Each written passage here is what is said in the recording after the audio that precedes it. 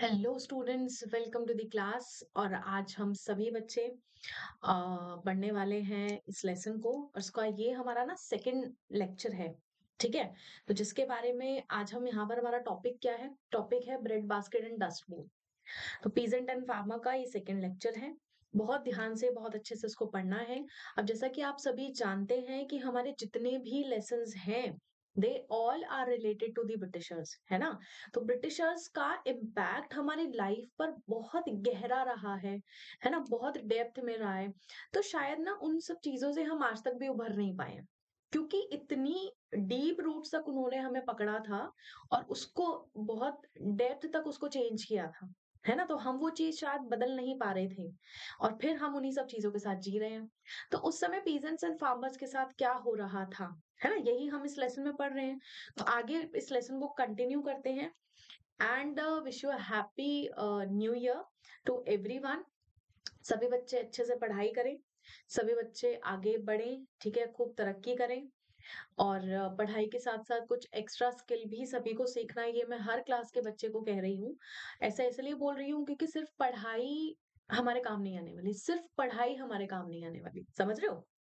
पढ़ाई के साथ आज के समय में हमारे पास कुछ एक्स्ट्रा स्किल्स होने चाहिए ताकि हम पढ़ाई के साथ साथ अपनी वैल्यू को बढ़ा सके, है ना? पढ़ाना, पढ़ना तो बहुत अच्छी चीज़ है कि आप पढ़े लिखे हो, है ना? पर सिर्फ़ पढ़े लिखे होना भी आजकल कम है। तो पढ़े लिखे होने के साथ साथ आपको और चीज़ें भी आनी चाहिए, और स्किल आना चाहिए, और काम आना चाहिए, और नॉलेज आपको पता होनी चाहिए, ठीक है? तो अगर आप अभी से वो थोड़ी थोड़ी चीज़ें सीखना शुरू करेंगे तो जिस, जब तक आप कॉलेज में जाएँगे, कोई जॉब को ज्वाइन करेंगे, कोई एग्ज़ाम क्लियर करेंगे, जब आपकी गवर्नमेंट जॉब लगेगी, है ना? या बिज़नेस में जाएँगे तो आपके पास एक बंच होगा। है ना? एक क्रिएटिविटी का, एक बढ़िया सा मतलब आपका ब्रेन होगा, जिसके साथ आप पढ़ाई के साथ साथ और भी कुछ अच्छी चीज़ें कर पाओगे। ठीक है तो इसलिए मैं हर क्लास में, हर बच्चों को यही बोल रही हूँ कि पढ़ाई के साथ साथ आप सभी बच्चे कुछ ना कुछ अच्छा सीखो, कुछ ना कुछ नया सीखो, जो आपकी पढ़ाई के साथ वैल्यूज़ ऐड करे। ठीक है? क्योंकि सिर्फ़ पढ़ाई भी सफिशिएंट नहीं है। पढ़ाई के साथ साथ भी हमें बहुत सारी चीज़ें करनी पड़ती है आगे, जो हमें सीखनी पड़ती है बाद में। फिर वो टाइम डिले हो जाता है, हमारा टाइम खत्म हो जाता है। है ना? उस समय जब हमें जॉब मिलनी होती है, जब हमें अपॉर्चुनिटी मिल रही होती है तो हमारे पास लैक होता है हर चीज़ का। तो वो लैक आपको नहीं छोड़ना है। तो चलिए शुरू करते हैं इस नए साल के नए दिन से। और उम्मीद करती हूँ सभी बच्चे बहुत अच्छे से पढ़ रहे होंगे, बहुत मेहनत कर रहे होंगे, है ना? तो चलिए हम शुरू करते हैं आज की हमारी क्लास। और this is me Bharti Neemkar. और हम लोग पढ़ रहे हैं सोशल स्टडीज़ यहाँ पर। और आप सभी बच्चे हम लोगों को टेलीग्राम पे ज्वाइन कर सकते हैं। ये हमारा चैनल है दैट इज़ सत्य शिक्षा नाइन टेंथ क्लास है ना? इसके लिए आपको टेलीग्राम को डाउनलोड करना होगा, फिर इस चैनल को ज्वाइन करना होगा। ठीक है, और अगर ये चैनल आपको मिल रहा है तो अच्छी बात है, नहीं मिल रहा है तो आप इसे सर्च कर सकते हैं। खैर तो शुरू करते हैं हमारा आज का टॉपिक जिसका नाम है bread basket and dust bowl तो यहाँ पर इस समय ये किसका मैप आपको दिखाई दे रहा है? कौन सा मैप दिखाई दे रहा है सभी को? अगर आप सभी देख पा रहे हैं या आप मैप के फ्रीक्वेंट व्यूअर हैं या यूज़र हैं तो अगर आपको पता चल रहा होगा कि ये यूएसए का मैप है, यानी कि America United States of America ठीक है? Now let us travel across the Atlantic to the USA Atlantic यहाँ पर क्या है? अटलांटिक इज़ द ओशन यानी कि महासागर, है ना? ये सब महासागर में ही काउंट होते हैं। ठीक है? तो हम यहाँ देखते हैं कि how modern agriculture developed there how the USA became the bread basket of the world and what this mean to the rural people of America bread basket अच्छा यहाँ पर ये एक अपने आप में एक मीनिंग लिए हुए है अपने साथ। ठीक है, अब ये मीनिंग क्या है, ये मैं आपको समझाती हूँ। अच्छा अटलांटिक ओशन ये देखिए, ये वाला अटलांटिक ओशन है। ठीक है, ध्यान से देखिए, ये अमेरिका के ईस्ट डायरेक्शन में है। कहाँ पर है? ईस्ट डायरेक्शन में, ठीक है? और पैसिफिक ओशन जो है, वो अमेरिका के वेस्ट डायरेक्शन में है। समझ रहे हो भाई सभी बच्चे? अच्छा अब इस मैप को ध्यान से देखो और देखने पर हमें, मुझे तो शायद ये दिखाई दे रहा है कि जो यूएसए है, उसका जो मेजर पार्ट है दैट इज़ टोटली ग्रीन है ना? 90 percent area is green forest covered है। ठीक है? अब देखो, ये जो डार्क एरिया है, ये फॉरेस्ट वेजिटेशन है। यानी कि यहाँ पर जो बेरीज हैं, जो फ्रूट्स है, वो सब यहाँ पर मिलते हैं। पूरा जो डार्क वाला एरिया है दीज ऑल आर क्या? फॉरेस्टेड वेजिटेशन एरिया ये जो ब्लू ब्लू देख रहे हो सारी लेक्स हैं। तो यूएसए और कनाडा में मैं आपको बता दूँ कंबाइंडली मेजरली कनाडा में तो Canada is the only country जिसमें दुनिया की सबसे ज़्यादा झीलें पाई जाती हैं, सबसे ज़्यादा लेक्स पाई जाती हैं। कौन सी कंट्री है? कैनेडा कंबाइंड विद अमेरिका ठीक है? तो Canada is also part of America but it it was divided है ना? खैर, वो चीज़ अलग है बट एक जो फैक्ट है, वो आप सभी समझे कि कनाडा में मैक्सिमम नंबर ऑफ़ लेक्स पाई जाती हैं इन दी वर्ल्ड ठीक है? खैर, इसको छोड़ते हैं, ये सारा लेक वाला इलाका है, जो आप बीच में व्हाइट व्हाइट देख रहे हो। फिर आप आ जाओ, जो कम ग्रीन वाला एरिया है, ये वाला। ये यहाँ पर देखो यहाँ लिखा टॉल ग्रासेस यानी कि ये प्रेयरी एरिया है। यानी कि यहाँ पर ग्रासलैंड है। ठीक है? फिर आ जाते हैं और लाइट ग्रीन शॉर्ट ग्रास वाला एरिया ये वाला। This all are short grass area यानी यहाँ पे घासेस, घासें छोटी हैं। डेजर्ट वेजिटेशन ऑल येलो यानी कि यहाँ पे सारा डेजर्ट है थॉनी फॉरेस्ट मिलेंगे आपको, कांटेदार पेड़, है ना? जैसे कीकर एंड होता है कैक्टस होता है, ये सब यहाँ पर आपको मिलेगा। तो देखो कितने टाइप का वेजिटेशन हम यहाँ पर देख रहे हैं? चार तरीके का। Forest tall grasses short grasses and ये क्या है? डेजर्ट ठीक है? और बीच में देखो सुंदर सुंदर लेक्स भी हैं। ठीक है? अच्छा यहाँ पर ये ब्रेड बास्केट कैसे बना? अब जैसा कि हमें पता है, अभी हम देख भी रहे हैं बल्कि जो यूएसए है, इसका जो मेजर पार्ट है which is green in area ठीक है? तो दैट मीन्स यहाँ पर जो वेजिटेशन यानी कि यहाँ पे जो एग्रीकल्चरल लैंड है एग्रीकल्चरल लैंड है, वो काफ़ी ज़्यादा है। It is huge in amount अगर एग्रीकल्चरल लैंड ज़्यादा है है ना? क्या है ज़्यादा? और पॉपुलेशन क्या है इनकी? कम है। अब ये शायद लोग इतना ज़्यादा अनाज उगा सकते हैं, इतना ज़्यादा अनाज ग्रो कर सकते हैं कि ये अपनी पॉपुलेशन को फ़ीड कराने के बाद भी सरप्लस में बचा सकते हैं। इनके पास एक्स्ट्रा है। तो ये क्या करेंगे? जब हमारे पास एक्स्ट्रा पैसे होते हैं तो सेविंग्स बोलते हैं ना उसको। अब ये सेविंग्स है। अब ये क्या करेंगे? इस सेविंग को बेचेंगे एक्सपोर्ट करेंगे टू दी अदर नेशन जिसमें से भारत भी एक था। India was one of the countries ठीक है? तो इंडिया के साथ साथ और भी देश थे, जो यूएसए से क्या करते थे? ये जो ग्रेन्स है, ये इम्पोर्ट करते थे। तो इसीलिए इसको कहा जाता था ब्रेड बास्केट ऑफ़ वर्ल्ड तो यहाँ पर ये जो प्रेयरीज आप देख रहे हैं, ये जो प्रेयरीज ग्रासलैंड्स हैं दीज ये जो ग्रासलैंड है these grasslands are the world's best agricultural land ठीक है? तो यहाँ पर जो प्रोडक्टिविटी है ग्रेन्स की, वो बहुत ज़्यादा हाई है, बहुत अच्छे अमाउंट में यहाँ पर ग्रेन्स ग्रो होते हैं। ठीक है? और अपनी पॉपुलेशन को फ़ीड कराने के साथ साथ ये लोग बाकी के देशों की पॉपुलेशन को भी खाना खिलवा सकते हैं। इंडिया भी उसमें से एक तरह से मैंने कहा, कब तक एक था? जब तक हमारे देश में हरित क्रांति नहीं आई थी। ठीक है? हमारे देश में हरित क्रांति क्रांति आई 1970s में। ठीक है? जब 1970 के दशक में आई 70 के दशक में आई। ठीक है? यहाँ दशक की बात कर रही हूँ मैं। तो तब तक हम यहाँ से लेते थे। जैसे ही हमारे पास हरित क्रांति आई, हमने लॉन्च की। हमने हरित क्रांति के साथ साथ और भी बहुत सारी क्रांतियाँ लेकर आए थे हम, जिसमें दूध से रिलेटेड था मछलियों से रिलेटेड था, है ना? ग्रेन से रिलेटेड था, और भी काफ़ी सारी चीज़ें थी। तो ये क्रांतियाँ बहुत इंपॉर्टेंट रोल इन्होंने प्ले किया। उसके बाद से हमने यूएसए से जो है ग्रेन इंपोर्ट करना बंद कर दिया। अब हम लोग इतना इंपोर्ट करते हैं कि हम दूसरे नेशंस को फ़ीड करा सकते हैं। कितनी बड़ी पॉपुलेशन है हमारी? मेरे ख्याल से डेढ़ सौ करोड़ ये पॉपुलेशन है और आगे आने वाले टाइम में 2045 में ये अप्रोक्सीमेट बढ़ने वाली है। 200 करोड़ प्लस होने वाली है। ठीक है? अच्छा खैर। तो हम तब भी इतना सरप्लस ग्रो कर पाएँगे कि हम बाहर के नेशंस को दे सकते हैं। ठीक है? तो चलिए, ये यहाँ पर एक डिस्क्रिप्शन था टॉपिक का। डस्ट बोल आगे बताऊँगी क्या है। ठीक है? चलिए, आगे चलते हैं। ओके, अर्ली ट्वेंटी सेंचुरी में, यानी कि जो बीसवीं शताब्दी थी, उसकी शुरुआत में जो व्हाइट अमेरिकन से American are in two category है ना? सभी को पता है ना? Ones are white and the other are black which are migrated from Africa है ना? इसीलिए इनको ब्लैक अमेरिकन कहा जाता है because they are they appear in colour black तो इसीलिए इनको मतलब ब्लैक हम नाम दे दिया ब्लैक खैर हम लोग हैं सभी इंसान, है ना? तो इंसानों की तरह ट्रीट किया जाना चाहिए, ना कि रंग की तरह कि ये गोरा है, ये काला है है ना? ये चीज़ मेरे ख्याल से सबसे ज़्यादा डिस्क्रिमिनेटरी है हमारी दुनिया में। और ये अभी भी हम लोग फॉलो करते हैं। वी थिंक कि जो वाइट्स हैं दे आर सुपीरियर पर ऐसा नहीं है है ना? नो बडी सुपीरियर ठीक है? सब इक्वल है, सबके पास उतना ही टैलेंट है, उतनी ही समझ है, उतने ही कैपेबिलिटी है, उतने ही स्किल्स हैं, जितने वाइट्स के पास हैं। ठीक है? तो हमें कभी भी कंपेयर नहीं करना चाहिए किसी को और एटलीस्ट ये तो नहीं, ऐसे तो रेफर नहीं करना चाहिए व्हाइट और ब्लैक ठीक है? पर खैर, हम यहाँ पर जब कुछ डिस्क्राइब करते हैं, कुछ डिस्टिंग्विश करते हैं, तब हमें ये मेंशन करना पड़ता है, ठीक है?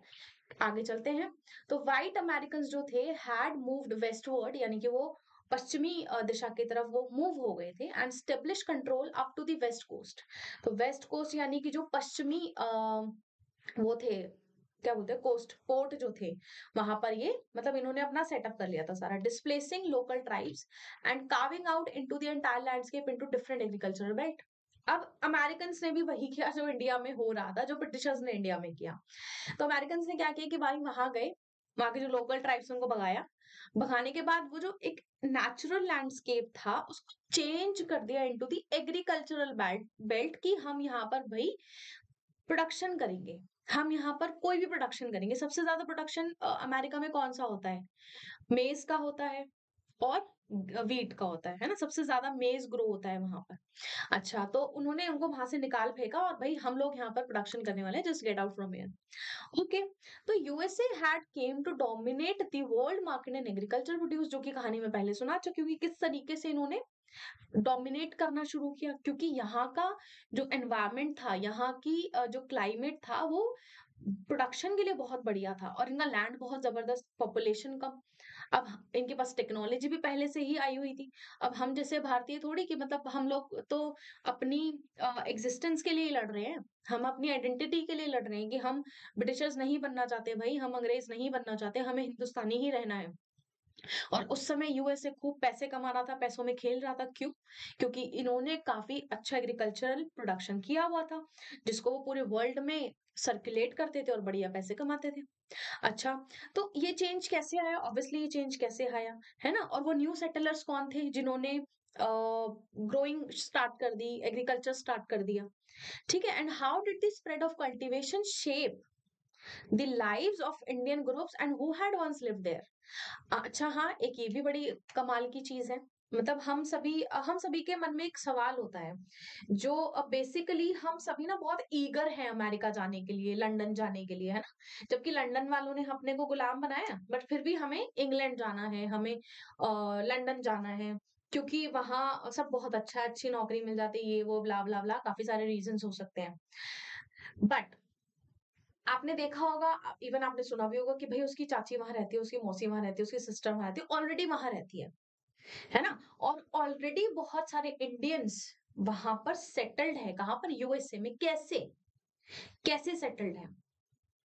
जब भारत को जो ब्रिटिशर्स थे, उन्होंने गुलाम किया, है ना? उन्होंने, जब गुलाम बने ही हुए थे तो एक गदर पार्टी थी। गदर मूवी की बात नहीं करी, गदर पार्टी की बात करी। तो गदर पार्टी एक बनाई गई, उसको संगठित किया गया और संगठित करने के बाद जो उसका हेड क्वार्टर था, उसको सैन फ्रांसिस्को में बनाया गया। तो San Francisco is the part of USA ठीक है? तो सैन फ्रांसिस्को में जो गदर पार्टी के लीडर्स थे, जो उसके मेंबर्स थे, वो सैन फ्रांसिस्को से उसको ऑपरेट कर रहे थे इंडिया में कि हम लोग यहाँ बैठ के उसको इंडिया में चलाने वाले और हम यहाँ ऑर्डर करेंगे, वो लोग वहाँ काम करेंगे। All all over the Punjabis ठीक है? उस, कुछ पंजाबीज थे उसमें और कुछ रेस्ट ऑफ़ जो स्टेट्स थे वो लोग इन्वॉल्व थे but major people were the Punjabis okay तो वहाँ से वो लोग उसको मतलब बढ़िया एकदम ऑपरेट कर रहे थे, सब कुछ बहुत अच्छा चल रहा था। तो वो लोग वहाँ ऑलरेडी सेटल थे, वो लोग वहीं रह गए। कभी फिर वापस इंडिया आए ही नहीं कि अब हमें भारत जाना ही नहीं है, क्योंकि जो भारत की दुर्दशा है, बड़ी खराब है। है ना? अब हम यहाँ ऑलरेडी सेटल्ड हो चुके हैं, बहुत सारी चीज़ें हम यहाँ पर अपनी बना चुके हैं। घर बना लिया, भाई बिज़नेस बना लिया, ठीक है? एक अपनी पहचान बना ली। तो अब हम ये सब छोड़कर वापस भारत जाए जहाँ कुछ नहीं है। ऑब्वियसली कुछ नहीं था, है ना? फिर उसके बाद कुछ लेबर जो कि जो यूरोपियन लोग, यानी कि ब्रिटिशर्स लोग भारत से और अफ्रीका से उठाकर अमेरिका भेजते थे फॉर स्लेव स्लेव मतलब जो परमानेंट वो होते हैं ना क्या बोलते हैं उसको? मुझे वर्ड ही याद नहीं आ रहा। गुलाम। गुलाम। तो उनको गुलाम बना के भेजा जाता था कि इसको हमने आपको बेच दिया है जस्ट यूज़ इट आप कुछ भी कर सकते हो इसका। ये आपकी प्रॉपर्टी है, मैं इंसान की बात कर रही हूँ कि इंसानों को, आपको पता भी होगा कि बेचा जाता था प्रॉपरली और मतलब अगर एक फैमिली में पाँच लोग हैं तो पाँचों को अलग अलग जगह भेजा जाएगा। तो उनकी कोई फैमिली नहीं है, उनके कोई इमोशन नहीं है, वो एक सामान हो गए। मतलब एक को यहाँ भेजा, एक को वहाँ भेजा, उनको ट्रक में भर के भेजा जाता था बड़ी ही इन ह्यूमन वे में, है ना? बहुत इन ह्यूमनली उनको ट्रीट किया जाता था। खैर, ये डिफरेंट चीज़ है। तो मैं बात कर रही थी कि ये जितने भी लोग अमेरिका इंडिया से और साउथ अफ्रीका से अमेरिका गए तो वहीं के वहीं सेटल्ड हो गए। दे नेवर केम बैक कि हम लोग अब इंडिया नहीं जाएँगे क्योंकि हमारा सब कुछ यहीं सेटअप हो चुका है। तो they have strong roots there तो अब वो आज़ादी के समय से ही वहीं रहते हैं। दैट मीन्स 200-300 साल हो चुके हैं, ठीक है? 300 साल हो जाएँगे अगले 20 सालों में। तो अगर कोई इंसान ऑलरेडी 200 साल से वहाँ रह रहा है तो वो कैसे वापस आएगा? इसीलिए वो जो लोग हैं, वो वहीं रह जाते हैं और वो अमेरिकन कहलाते हैं फिर। अब वो जो बच्चा वहाँ पर नया जो बॉर्न होगा, वो ऑब्वियसली वो अमेरिकन होगा, ये तो नहीं बोलेगा कि मैं इंडियन हूँ। हाँ बट मेरे रूट्स इंडिया के हैं, पर मैं इंडियन नहीं हूँ, मैं तो अमेरिकन हूँ, है ना? तो इसीलिए वो जो लोग ऑलरेडी रहते हैं, जिन्हें हम इंडियन ओरिजिन के लोग कहते हैं तो इंडियन ओरिजिन के लोग इस तरीके से अमेरिका में सेटल्ड हुए और same with England same with Australia मतलब लोग चले गए एक जगह से दूसरी जगह, है ना? जब जो लीडर्स थे, जो बहुत बढ़िया बढ़िया मूवमेंट्स चला रहे थे, उनको देश में रहने के लिए अंग्रेज़ों ने मना कर दिया, उनका बाइकआउट कर दिया तो वो बाहर चले जाते थे दूसरे कंट्रीज़ में। और दूसरी कंट्रीज़ में रह के फिर वहाँ से ऑपरेट करते थे और फिर वो परमानेंटली वहीं रह गए। तो वो कभी इंडिया आए नहीं, ठीक है?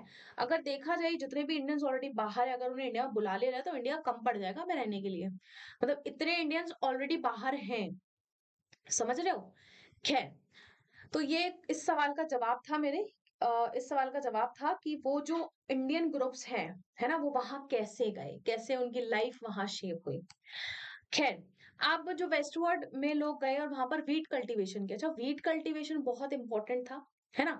अच्छा ये जो वीट अमेरिका में ग्रो होता है और जो वीट हम लोग इंडिया में ग्रो करते हैं, दोनों में डिफरेंस है, ठीक है?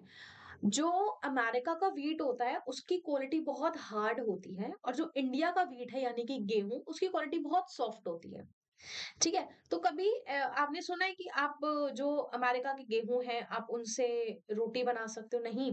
That is very hard even रोटी भी नहीं उसकी प्रॉपर बन पाएगी। तो उसकी वो कुकीज बनाते हैं, है ना? और कुछ ऐसी चीज़ बनाते हैं जो कि हार्ड फॉर्म में खाई जा सके। सॉफ्ट रोटीज आप नहीं बना सकते।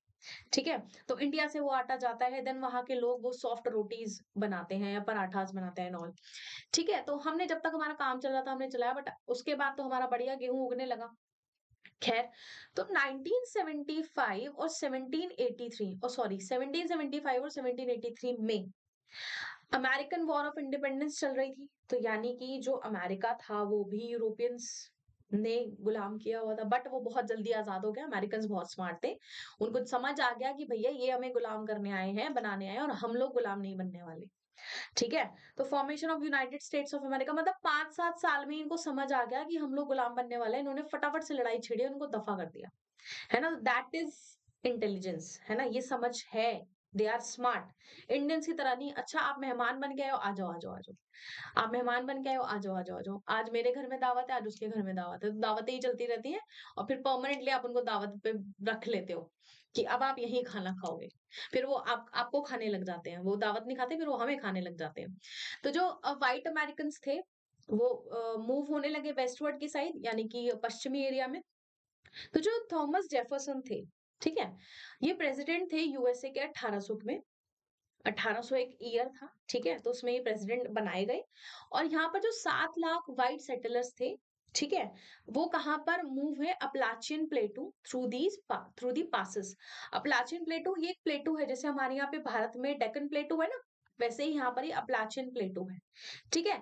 जो अमेरिका की फॉर्मेशन है ना सेम इंडिया की फॉर्मेशन है। समझ रहे हो? प्लेटोज यहाँ पर आपको मिलेंगे हाई पीक्स आपको यहाँ पर मिलेंगी प्लेन्स आपको यहाँ पर मिलेंगे ग्रासलैंड्स आपको यहाँ पर मिलेंगे, ठीक है? रिवर्स मिलेंगी लेक्स मिलेंगी, सब कुछ मिनरल्स वगैरह सब कॉमन है हमारा, क्योंकि वंस अपॉन अ टाइम सारा लैंड एक ही था, ये फिर बाद में सेपरेट हो गया। फिर वंस अपॉन अ टाइम जब कभी आएगा तो सब एक साथ मिल जाएगा, ठीक है? तो ये अपलाचियन प्लेटो यहाँ पर लोग पासिस के थ्रू है। पासिस क्या होता है? मतलब ये एक रास्ता है ठीक है ये हाइट है आई I मीन mean, ये ऊंचाई है और यहाँ पर एक छोटा सा इस तरीके से कोई पास बना हुआ है दैट मीन्स एंट्री और एग्जिट टाइप तो आप यहाँ से निकल निकल कर जा रहे हैं। तो seen from east coast America seem to be the land of promise अब अमेरिका को एक प्रॉमिस लैंड की तरह देखा जाने लगा कि भाई जो ये कहता है वो ये करता है। जैसे जो टिम्बर कट यहाँ पर होने लगे एनिमल हंटिंग यहाँ होने लगी मिनरल गोल्ड मिलने लगा मिन, मिनरल्स को माइन किया जाने लगा है ना? अब देखो आपको क्या करना है आपको ग्रोथ करनी है अब। आप आज़ाद हो चुके हो ठीक है? आपके पास बहुत सारी अपॉर्चुनिटीज़ है आपके पास बहुत सारे चीज़ें अवेलेबल है नेचुरली आप ऑब्वियसली आप ग्रो करोगे ठीक है? फिर 1800 में क्या हुआ? जो यूएस गवर्नमेंट थी they committed itself to a policy of driving the American Indians westward अब इन्होंने खुद से ही एक पॉलिसी बना ली कि भाई जो इंडियन अमेरिकन हैं, उनको वेस्टवर्ड भेजो, हम वेस्टवर्ड नहीं रहेंगे। First beyond the river Mississippi and then further west पहले तो उनको मिसिसिपी रिवर के दूसरी साइड भेजो और फिर उनको वेस्ट भेज दो। दैट मीन्स अब हम जो ओरिजिनल यूएस वाले लोग हैं, हम नहीं जाएँगे वेस्टवर्ड हम इधर रहेंगे। क्योंकि भाई हमारा लैंड हम कहीं भी रहे तो हम उनको दूसरी साइड भेज देते हैं, क्योंकि हमारा लैंड है, हमने डिसीज़न लिया है। ओके तो न्यूमरस वॉर्स हुई वहाँ पर, ठीक है? इन विच जो इंडियंस थे were massacred and many of their villages villages burn तो इंडियंस को मारा गया। ठीक है, उनके जो गाँव थे उनको जला दिए गए ये इमेज में आप देख रहे हो, जो डिजास्टर यहाँ हुआ है, ये मैनमेड है। तो Indian resisted and won many victories in wars अब इंडिया इंडियंस जो लोग थे वहाँ टिके रहे। बहुत सी लड़ाइयाँ जीती, मर रहे तो मर रहे तो क्योंकि हमने अंग्रेज़ों के साथ इतनी लड़ाइयाँ की थी और तुम तो अमेरिकन हो। सबको देख लेंगे। तो यहाँ पर सारी जो लड़ाइयाँ थी इंडियंस ने जीती but ultimately force to sign treaty and give up their land and move westward अब क्या करें भाई, हमारा देश तो है नहीं। है तो अंग्रेज़ों का अंग्रेज़ों का नहीं, अमेरिकन का। खैर, वो भी गोरे ही है, हम गोरे ही कहते हैं सबको। ओके तो उन्होंने एक ट्रीटी साइन की कि भैया आप ट्रीटी साइन करो, बेशक से आप वॉर जीत गए हो, पर फिर भी हमारी बात मानोगे। तो वॉर जीतने के बाद उनसे एक पेपर साइन करवाया, अब तुम लोग वेस्टवर्ड शिफ्ट हो जाओ, हम लोग यहाँ नहीं रहेंगे। तो फिर 1820 और 1850 के बीच में क्या हुआ था? जो इंडियंस थे they retreated the settlers port मतलब आने लगे इंडियंस वापस से? जो अमाउंट था लोगों को बढ़ने लगा। अब जो they settled on the Appalachian plateau है ना? By first decade of eighteen century यानी 1810 में वो प्लाचिन प्लेटो पर शिफ्ट हो गए। फिर they move into the Mississippi valley जो मिसिसिपी रिवर है, उसकी वैली बनी हो तो वो वहाँ पर शिफ्ट हो गए कि ठीक है भाई, हम लोग यहाँ रह लेंगे, क्योंकि यहाँ पर फैसिलिटीज़ वगैरह इट्स ओके ओके कोई बात नहीं। उसके बाद फिर उन्होंने स्लैश एंड बर्न फॉरेस्ट वही जो इंडिया में होता था, वो वहीं शुरू कर दिया। ठीक है? उन्होंने स्टम्प्स पुल किए, ठीक है? लैंड क्लियर किया कल्टीवेशन के लिए। उन्होंने लॉक कैबिन्स बनाए फॉरेस्ट क्लियरिंग करके। मतलब अपनी सेटलमेंट के लिए उन्होंने प्रॉपर इंतज़ाम कर लिया सब इंडियंस ने कि अब हमें यहाँ रहना ही है तो क्यों ना भाई सारी चीज़ें अपने अकॉर्डिंग की जाए। Then they cleared large areas and erected fences around the field अब इन्होंने लार्ज एरिया मतलब क्लियर कर लिया कि हम लोग यहाँ कल्टीवेशन करने वाले हैं। और उसके बाद फेंसिंग कर दी कि भाई ये हमारा इलाका है, अब इसमें कोई नहीं आने वाला। ठीक है एटलीस्ट अमेरिकन तो नहीं आएँगे।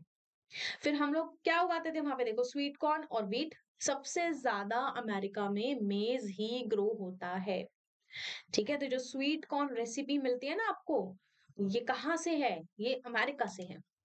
ठीक है, अब ये सैड हाउस है इन फ्रंटियर मतलब एक टिपिकल सॉरी सॉर्ड हाउस है ठीक है? जो सेटलर्स हैं यहाँ पे uh, ये यहाँ पर इस हाउस में रहते थे जब उन्होंने मतलब ग्रासलैंड्स क्लियर शुरू करने शुरू कर दिए थे जब उन्होंने uh, मतलब अपनी सेटलमेंट के लिए एक पॉजिटिव एरिया बनाने शुरू कर दिए थे। तो ये टिम्बर का हाउस बन मतलब यहाँ पर घर बनाने के लिए टिम्बर अवेलेबल नहीं था तो ये सॉर्ट से बनाया जाता था। तो कुछ इस तरीके के घर यहाँ बना करते थे।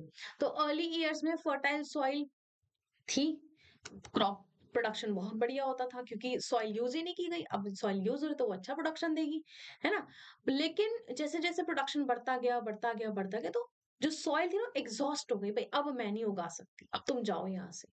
है ना? अब फिर जो माइग्रेंट थे, यानी कि हम इंडियंस फिर और वेस्ट की तरफ़ जाने लगे कि चलो भाई, आगे चलते कि अब तो आगे की मिट्टी अच्छी हो। फिर 1860 में क्या हुआ, जो सेटलर्स थे, है ना, वो कहाँ चले गए? Great plains across the river Mississippi की भाई, अब हम ग्रेट प्लेन्स में एंटर कर रहे हैं, जहाँ पर इलाका बढ़िया ही बढ़िया है। वहाँ पर रिवर भी अच्छी होगी, वहाँ पर सॉइल भी अच्छी होगी और रहने के लिए भी प्लेन एरिया है, ताकि ऊँचा नीचा ना रहे। ठीक है? अब हम एक यहाँ पर एक स्टोरी को फॉलो करते हैं, जहाँ पर वीट फार्मर जो थे इन सम डिटेल है ना? और देखते हैं कि यहाँ पर how they turn the grassland into the bread basket of America and problem they faced and what consequences followed तो यहाँ पर ये जो अमेरिका को ब्रेड बास्केट बनाया है ना, ये भी अमेरिकन ने नहीं बनाया? ये हम इंडियंस ने बनाया है। ठीक है?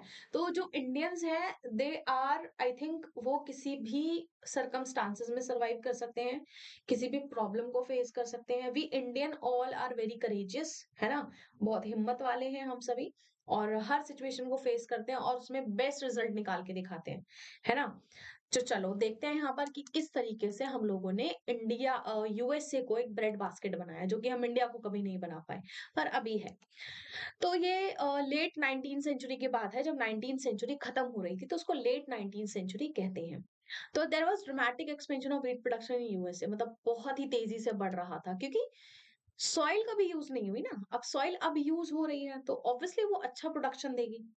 तो अर्बन पॉपुलेशन थी जो यूएसए में वो बढ़ रही थी। एक्सपोर्ट मार्केट भी बड़ी हो रही थी क्योंकि अगर हम लोग अब अच्छा प्रोडक्शन करेंगे तो मार्केट बाहर जाएगा ना सामान। तो एक्सपोर्ट मार्केट भी बढ़ेगी, पैसे आ रहे हैं अब हमारे पास। अब डिमांड बढ़ने लगी वीट प्राइसेस भी बढ़ने लगे। अब फार्मर्स को एनकरेजमेंट मिलने लगा कि भैया और उगाओ और उगाओ, है ना? अब देखो जब पैसे आते तो एनकरेजमेंट मिलता है कि नहीं मिलता? अरे पैसे आ गए मज़ा आ गया। और काम करते हैं, और पैसे आएँगे, और काम करते हैं, और पैसे आएँगे। तो ये एनकरेजमेंट लोगों को मिलने लगा फार्मर्स को। तो इन्होंने क्या किया? रेलवे स्प्रेड करना शुरू किया कि भाई ट्रांसपोर्ट कैसे करेंगे हम लोग ग्रेन है ना? हम तो वेस्ट कोस्ट में रहते हैं अमेरिका बहुत बड़ा है। अब ईस्ट कोस्ट में अगर सामान जाना है तो हम लोग पैदल तो लेके नहीं जाएँगे। या हमारे पास ऐसे जानवर अवेलेबल नहीं है कि भाई वो रिवर क्रॉस करें, फिर वैली क्रॉस करें, फिर प्लेटूस पर चढ़ें, ये तो पॉसिबल नहीं है। तो हमें क्या कराना है? हमें रेलवेज इंट्रोड्यूस करानी है जो कि ब्रिटिशर्स ने हमारे इंडिया में किया। सामान एक जगह से दूसरी जगह ले जाने के लिए रेलवे द बेस्ट ऑप्शन। तो रेल बनाई गई।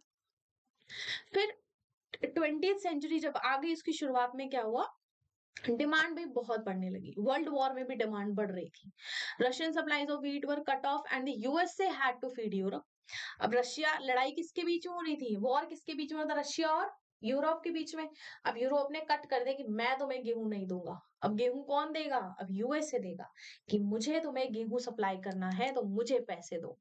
तो जो यूएस प्रेसिडेंट थे Wilson called upon farmers farmers and to respond in of the time अब इन्होंने कहा कि भाई सभी किसानों मिल जाओ और मिलकर जरा जो uh, इस टाइम की जो डिमांड है उसको पूरा कीजिए।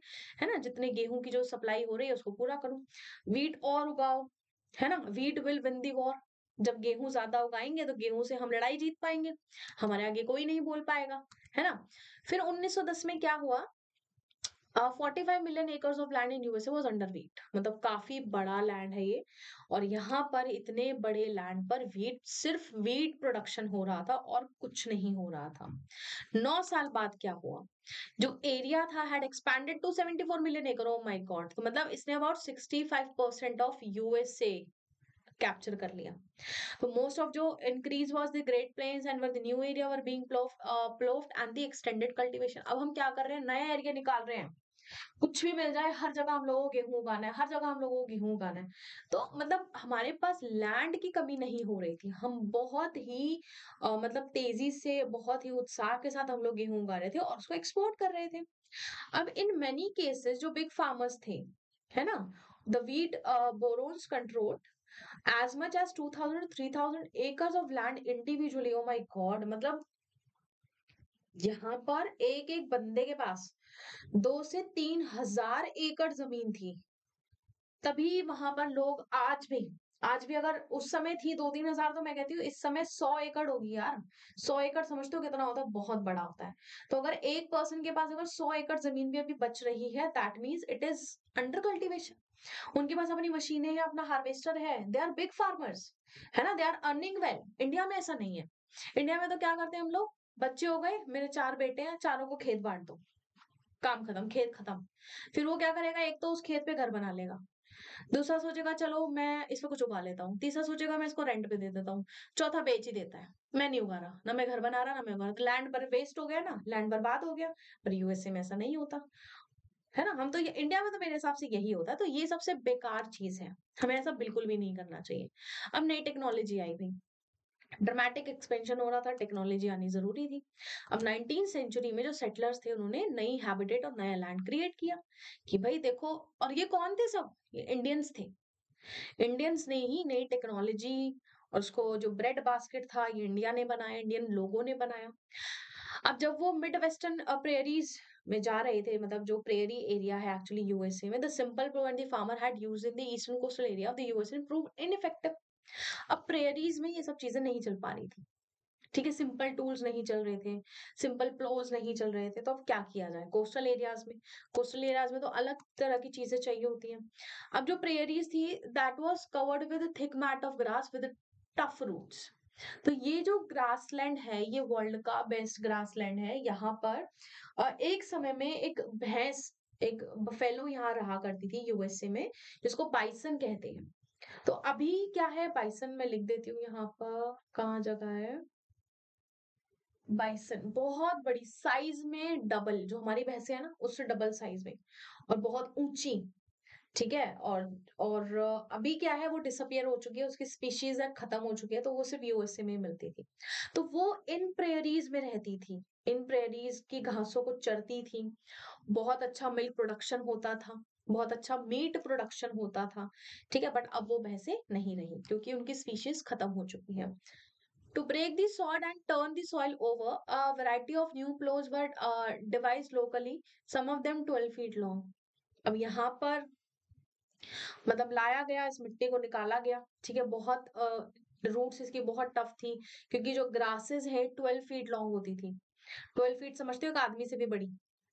तो यूएसए में, उस समय तो काफ़ी टॉल पर्सन रहा करते थे बट अभी इतने टॉल लोग टॉल लोग नहीं है। Twelve feet is a very huge height है ना? तो उसको काटना, फिर उसकी रूट्स को निकालना, फिर वहाँ उसको कल्टीवेशन के अकॉर्डिंग उसको मेंटेन करना। तो their front rested on small wheels and they were hitched on six yokes of oxen और हॉर्सेस अब इनको छह जो याक्स थे वो याक्स योक्स ऑफ़ ऑक्सन यानी कि छह ऑक्स लगानी पड़ती थी इनको, या फिर हॉर्सेस लगाने पड़ते, ताकि इन ग्रासेस को कट किया जाए। मैं यहाँ पर आपको कुछ एलेबोरेट करने की कोशिश करती हूँ। जैसे मान लो ये एक वो जो डंडा लगाते हैं ना, ऐसे नेक पे लगाते हैं किसके, ऑक्स की। तो यहाँ पर एक ऑक्स है, यहाँ पर एक ऑक्स, दो ऑक्स, तीन ऑक्स, चार ऑक्स, पाँच ऑक्स, छह ऑक्स। देखो, कितना बड़ा हो गया ये। तो यहाँ पर ये सारी ऑक्सेस हैं। ये ऑक्सेस मिलकर जान लगा रही है, तब यहाँ पर उन घास को हटाया जा रहा है। अब फिर से अर्ली ट्वेंटीज में जो फार्मर्स थे ग्रेट प्लेन्स में, वो मतलब ग्राउंड तोड़ कल्टीवेशन कर रहे थे। ट्रैक्टर्स बढ़िया चला रहे थे। मतलब इतना बढ़िया काम कर रहे थे जिससे कोई हद नहीं। तो 1830 में क्या हुआ था? जो ग्रेन थे, उनको जो मतलब हार्वेस्ट करने के लिए सिकल और क्रेडल का यूज़ किया गया, यही चलती है ना? जब हम काटते हैं, जब कटाई होती है तो उसको काटते हैं तो फटाफट फटाफट सारा कटता है। है ना? Hundreds of men and women could be seen in the field cutting the crop ऐसा ही होता है हमारे हमारे देश में भी ऐसा ही होता है ना, जब कटाई का सीज़न आता है तो लोग छुट्टी ले लेते हैं, अपने गाँव चले जाते हैं, बच्चों के स्कूल की छुट्टी हो जाती है, क्योंकि कटाई का सीज़न है। सभी लोग अपने घर पे रहते हैं, कटाई में हेल्प करते हैं, है ना, सबके खेत होते हैं तो वो नहीं आ पाएँगे वो स्कूल तो ये देखो, ये सब सिकल लेके काफ़ी बड़ी बड़ी सिकल ली हुई है इन्होंने। तो scythes were use for mowing for mowing grass before the mid nineteen century तो देखो इससे कटिंग कर रहे हैं और कटिंग करके इसको कलेक्ट करके ले जाया जाएगा।